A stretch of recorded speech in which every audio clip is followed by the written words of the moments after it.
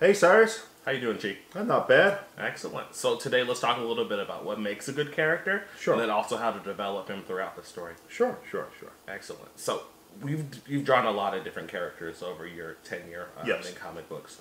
Um, one of the most is- interesting ones, in my opinion, is Captain China because he definitely has a really strong arc from beginning to end. Yes. He's pretty well defined by the end of the twelfth book, and I think you learned a lot about him throughout the entire story. Yes. So what what process does it really have to go through to be able to create a strong character like that? Well, I think first of all, your story has to be strong. Sure. You have to know if your story is weak, it doesn't matter how good your character is. Your character is kind of wasted in the process. So I think story is number one. Uh, I think number two, you got to put enough conflict in there. Okay. You know, meaning conflict doesn't mean just character fighting. It means what scenarios that is that the character has to kind of overcome. You know, and and it's it's a subject matter we can probably talk a little bit more in depth. You know, in another segment. So there's there's story and conflict that you got to consider. Uh, but Captain China was a very unusual approach, where um, I approach almost like the complete opposite of Captain America. Okay. Well, when you see a Captain America movie, you know, where uh, Chris Evans played the character, he was very clearly defined who he was from the very beginning. Sure. He was a guy who, who you know, wanted to do something for his country, uh, was not afraid to sacrifice himself. You know, there's the famous grenade scene where they threw a fake grenade and he jumped up on top of that. You knew that who that character was right away. Sure. No doubt. Captain China was the opposite approach, where you kind of don't know what he's about until you reach the very end. You know, the process is almost like a reverse, where at the beginning you think, okay, what is what does it really stand for, and none of that is made made clear at all. But as the story progresses, you begin to see all the puzzles starts to come in. You know, his past, some of the the, the situation he was put in, you know, some of the loss he suffered, and then at the very end was the final defending moment to say, "This is who I am," and then the character comes out. Right. So that was one one of the, the more unusual approach that, I- that I tried with the character. Um, but but the trick to that was also surrounding him with characters that are a little bit more more livelier. You know, you kind of know who they're about, so you kind of you kind of use that to to prop them up a little bit. Right. Almost like a foil. I Yes, guess. almost, yeah, like a foil. So you can kind of see, okay, what's going on. He's definitely not one of those, but what is it about? So that was kind of the trick in writing that. Um, so uh, yes, you want to have a clearly, but because Captain China had a very clearly defined story where I want to go with that, uh, and I know what the conflict was, it was easy to not have that shown very beginning because I know where the, the ultimate goal was going to be Right. As opposed to writing something like something high where characters are very much almost one-dimensional cartoon characters so you get the personality very quickly across sometimes with dialogue sometimes with their actions and then you kind of go from there Makes a lot of sense.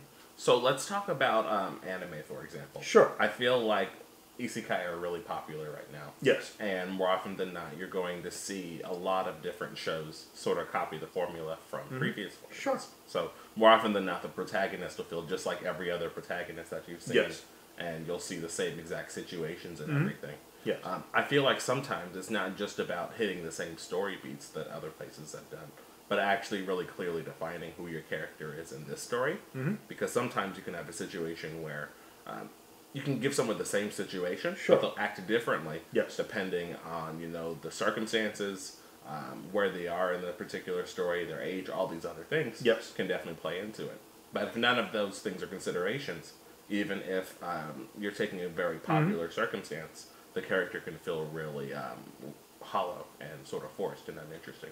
well the thing with isekai is is almost every main character is a surrogate for the audience Yes. that's really the approach to writing something like that um, I think what makes it good and not good is that uh, you have to think, okay, if if you know I himself is that character in the storyline going to a different world or different dimension or whatever, what would I do? And usually you can write really smart solutions for that character to solve.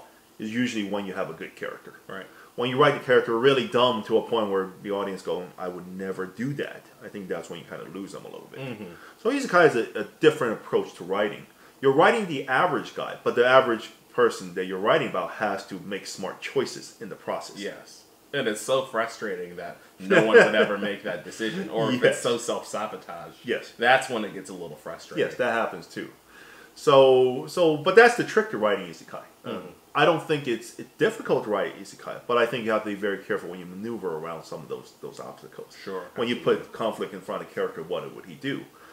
Um, uh, and of course, it's a popular thing right now, uh, mainly because I think um, due to the rise of video games, Yes. you know, you can easily project yourself into a character that you play. That's where the dominant part of pop culture is right now. Also, uh, a lot of the isekai came about from the fact that um, uh, in Japan, you know, their the economy has kind of been a slump for almost two two generations now Right. not even two decades, two generations. So um, the people always felt like they, you know, a lot of them are highly educated, have to gone to college, but they, they get very minim, you know, these minimum paying job like work at a gas station or, or a convenience store Right. clerk. So they feel like they never reach their full potential. So Isekai kind of, kind of, you know, pulls that out of the Japanese society of saying, hey, imagine you can put your skill and your knowledge to work and be somebody else if we were not trapped in the current situation. That's kind of where that genre develops. That makes a lot of sense. Yeah, but but that means the character for that is is very much the you have to think about how the audience, Mhm.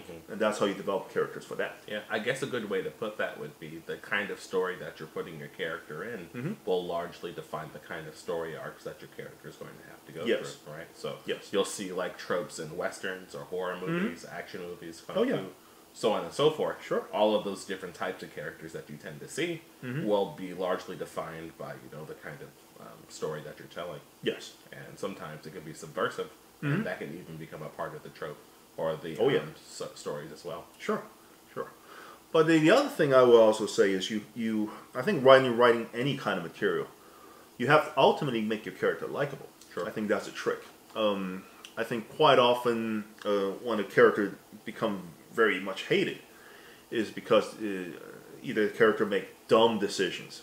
You know, and that became very apparent when you watched The Walking Dead Yes. where I remember, you know, there are certain characters that would that, that would do things each week, and the audience, you go online, you read the reaction, they want that character dead right away. It's like, why is this guy dead? Why did they kill the other character?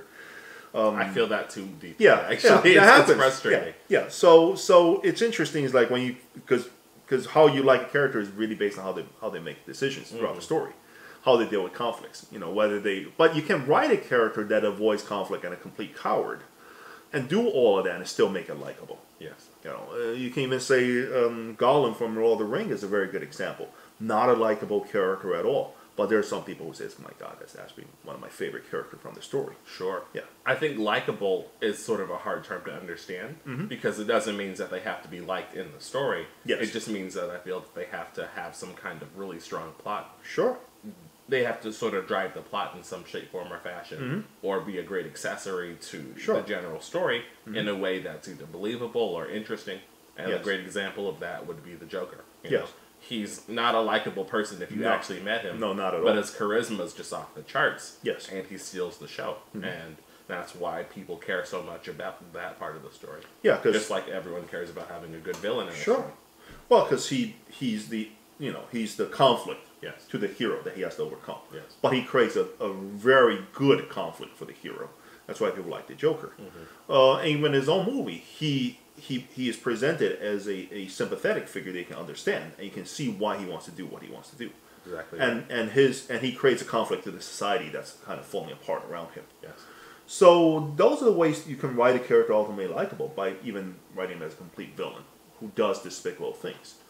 Um, and those are things I think when people approach writing have to really think it through. You have to think about okay, who is it that I'm I'm I'm trying to define here? What are some of his ideals, some of his i- some of his personalities, and how does it work with the General with, yeah, story. the general setting, the background, you know, and where you want to go in the direction. Great example of that again is what I've been watching just recently. You know, Daredevil. Mm-hmm. Yes. Um, in season two, you get a chance to see the Punisher. Yes. And they become a foil of each other because Yes. the Punisher is very, very capable of killing people Yes.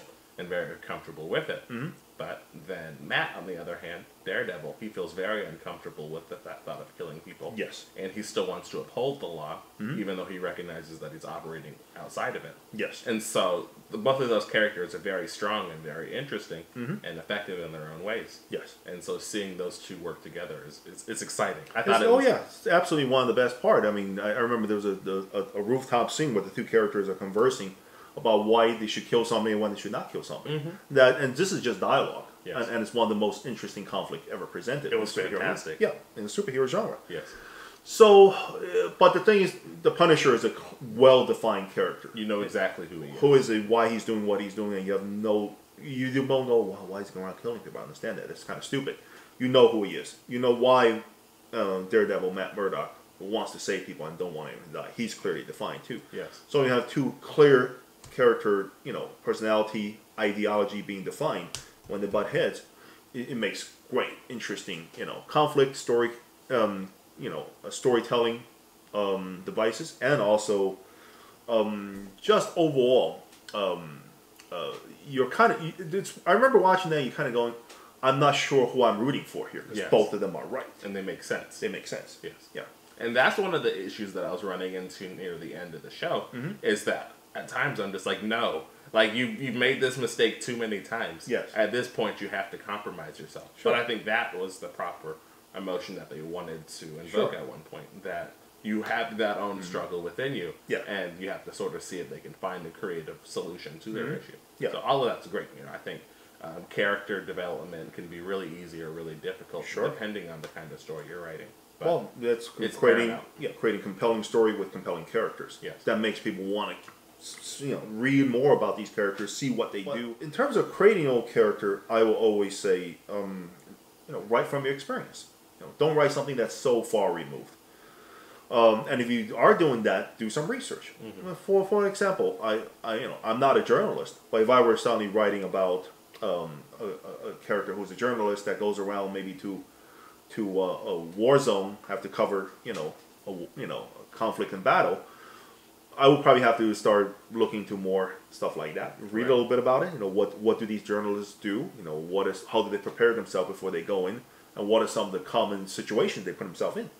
And then from that you can extrapolate and say, okay, this is kind of the personality they're like, or do I want to write a smart, a guy who's really smart in, in, in taking care of some of these situations, or do I want to write a guy who don't know what he's talking about, kind of get throw dropped into it, and then has to learn the ropes in the process. Makes sense. Yeah. All of that is important considerations Yeah. to make.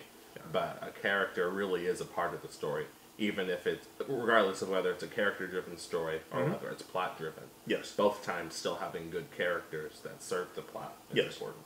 Yeah, which which goes back to the very beginning is that you can have a good character, you have to have a good story, Yes. have a good backdrop, good supporting character that kind of props your character up in the process.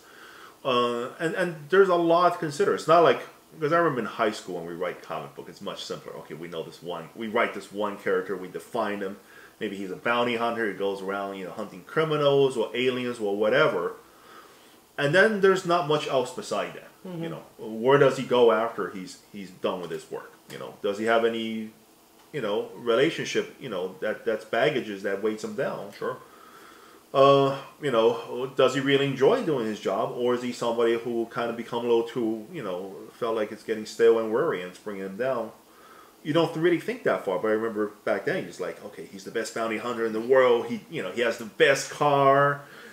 You know, uh, you know, always has a smart line, one-liner like the old Schwarzenegger movies and But we, stuff like we that. need those. I mean, honestly, I wish that would come back. Sure. But all of those things are definitely important. Oh yeah. But it can be a little bit difficult to Yeah. put all that together. Yeah, especially the fact that I think one of the biggest problems we're fighting is that there's more and more media produced every day.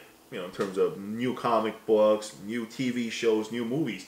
So almost everything you can kind of imagine under the sun is, is being mined, hmm. and, and they keep mining it more and more and more. So as a writer, to approach writing characters, you have to be even smarter about how you approach these things. Otherwise, you're going to get lost in the shuffle. Sure. It happens quite often. But I also feel like there's a lot more opportunities out there Sure. to take other people's ref to reference other people's work and Yes. to be able to learn from it. Yes, can build the top, top of what existed. Sure. Um, so it's it's not impossible. It's just that I think I think there's so much more competition out there when you when you want to go present your own work, your own character, your own story, all these things, and there's a lot more to consider. What's also nice these days is we have also a lot more teaching, you know, tools out there. Like we're we making this video being one of them. You go on YouTube, there's plenty of other videos teaching you how to write, you know, and how to draw and all sorts of stuff. There's a lot of how to, you know, how to do a type of video. Out Right, exactly. Yeah. And all of that's fantastic. Um, I think in general, though, a character has to serve the plot and Sure. it has to be appropriate for whatever story you're trying to Mhm. tell. You know? Yeah. Um, in general, the best kinds of characters are the ones that are able to do something that's unique to only them. You know, Sure. let's just say Star Wars, for example. Yes. Um, Han Solo is a great character. Yes. Mm-hmm. He's well loved. You only know enough details about him in the original trilogy to be Yes. Mm-hmm. able to get apo- across the point. You know, one of the best character development, um, developing scenes, Yes. in my opinion, is the one where Han shoots first. Yes. he shoots first. Yes, by the way, let's not let's not kid ourselves. Yes. He does, and ultimately that clearly defines sort of who he is and sort of um, his background of sort Yes. of how he deals with people, and I think that's great. Mm-hmm. Uh, being able to have those kinds of scenes in a medium are important. I think to be able Yes. to define the character. But I also think uh, a bottom line to that is once you develop your character, can your character be very easily summarized with one or two sentences? Sure. You know, when you say Han Solo, um, captain of spaceship, you know, willing to shoot first, roguish, you know, kind of, you know, kind of, kind of maybe a ladies' man a little bit. You know, the way he's portrayed.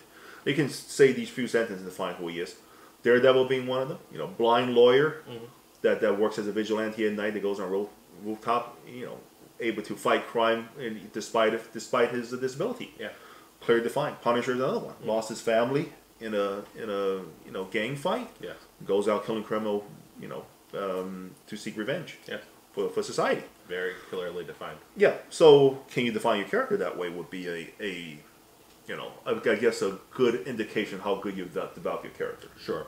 And there are some characters that are ambiguous, but Yes. even ambiguous characters, I feel, should be, you know, you should be able to write about them by the end and Sure. sort of understand who they are. Well, Wolverine being one of them. But Wolverine is not defined by his ambiguity. He's defined by his visuals. You know, a short, you know, violent character that has that can pop claws. Yes. You know, that can that can very violently fight his character, fight his opponents, and he has a healing factor that prevents him from from getting injured. But there, I define who Wolverine is without any any problem. You hear that, go, yeah, that's who he is. That's exactly who he is. Yeah. Mm-hmm. So all of that comes together. Um, I think that's a good. I think that's a good point for now. Sure. Absolutely. Yeah. Okay. Thanks for watching, guys. Yeah, well, we'll talk some more about other stuff next time. See you later. See you.